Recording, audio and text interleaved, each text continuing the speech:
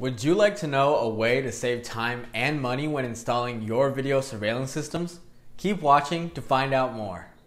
Hi, I'm Jorge Ramirez with Safe and Sound Security, the place where professionals turn for security system information and solutions. Today, we're going to talk about why you should be using PoE switches in your surveillance system. If you already have a video surveillance system or are looking at installing one, you will need to become familiar with the term PoE in today's sophisticated surveillance camera systems, PoE switches are a mainstay.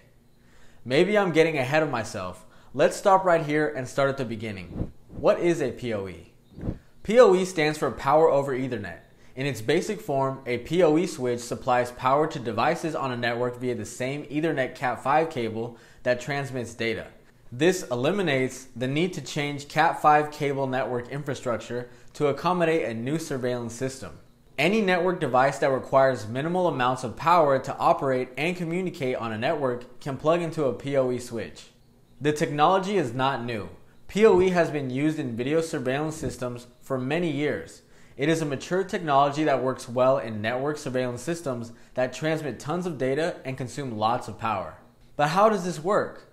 How can one cable transmit both power and data? Let's take a look at how PoE switches work.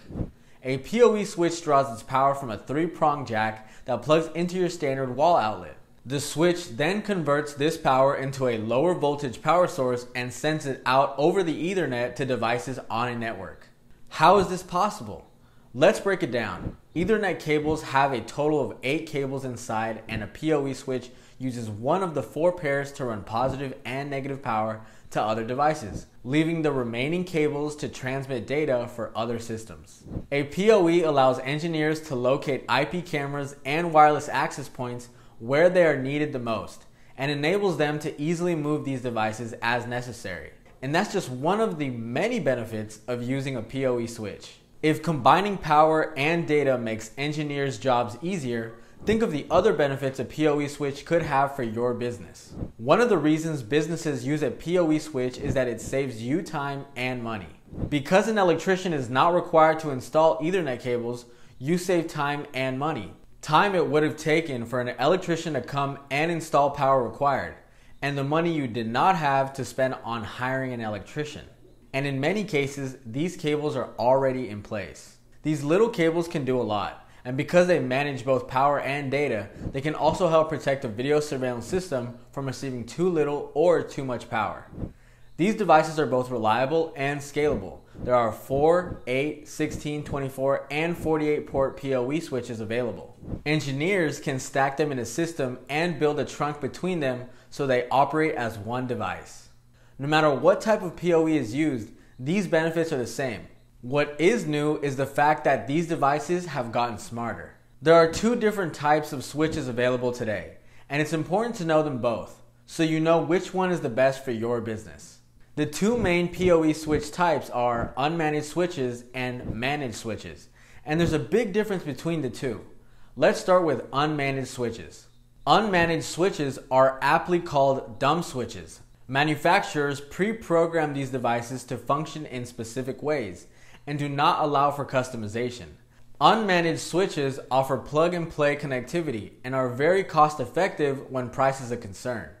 These switches do not care what devices attach to them, they simply plug in and send out PoE.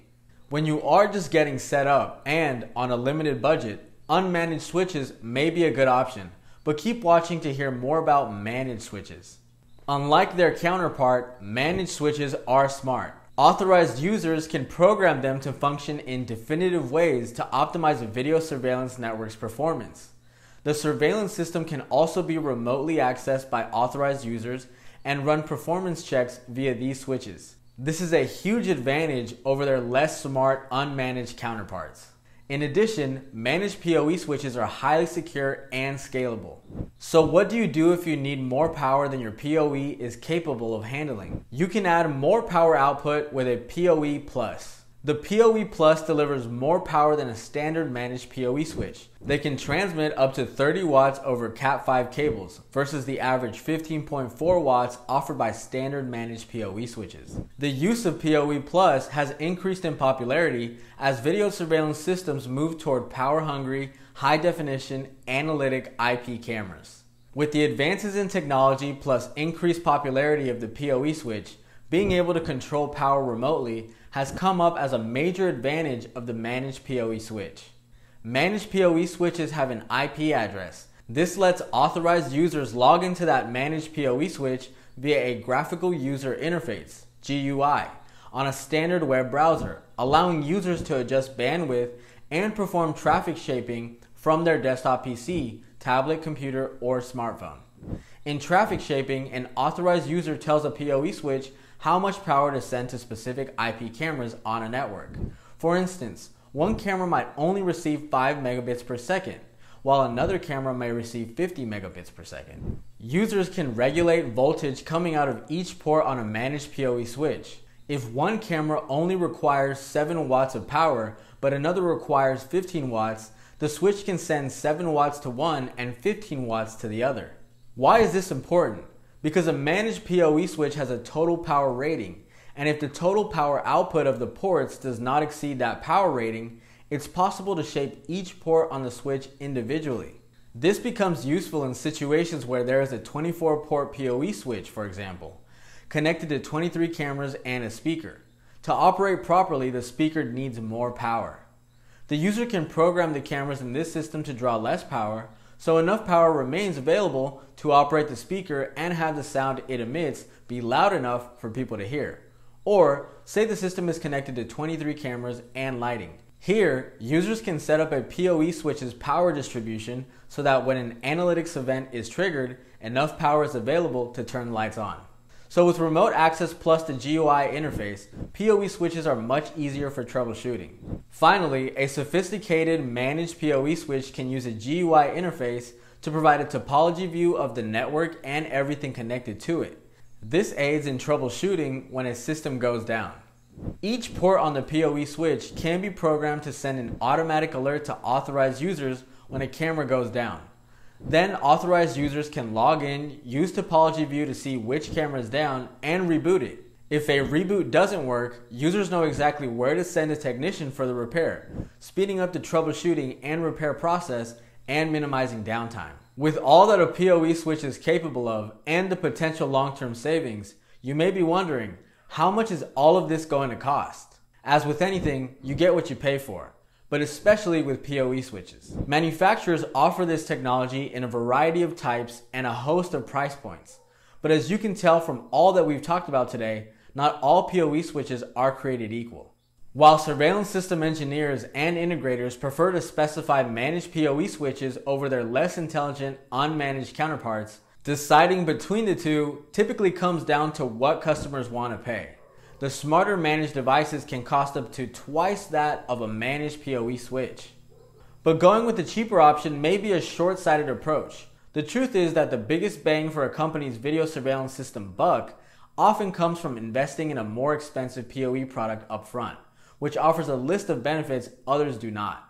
So, if you're asking yourself, should I be using PoE switches in my surveillance system? The answer is yes. No question about it.